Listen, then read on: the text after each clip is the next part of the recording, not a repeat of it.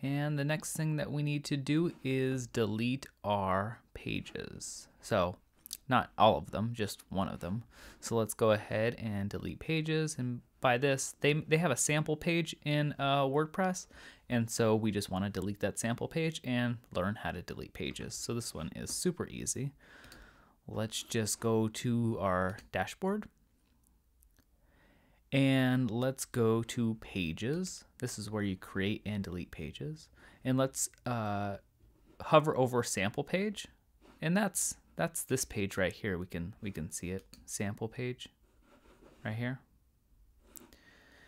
So let's go to our dashboard. Let's go to pages. Let's hover over it and you'll see trash. Click on it.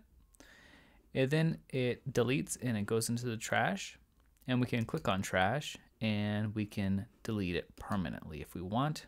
That's just like on your computer when you empty your trash, it deletes permanently. Same thing goes on there.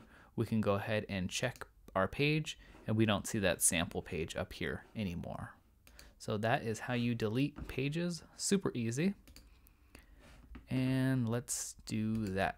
Felt like we were cheating on that one. That was too easy.